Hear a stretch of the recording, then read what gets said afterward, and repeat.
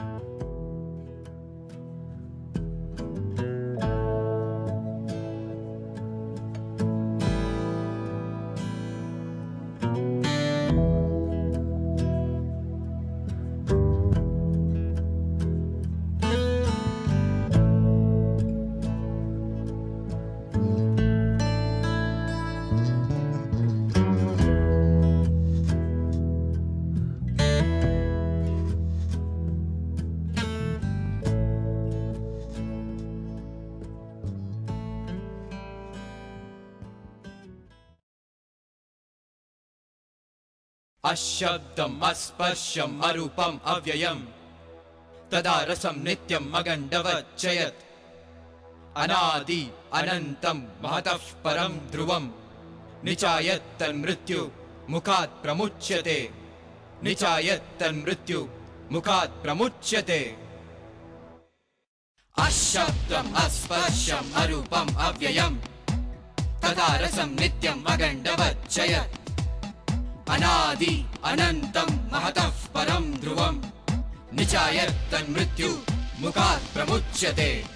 निचायत्तन्मृत्यु मुखात् प्रमुच्यते।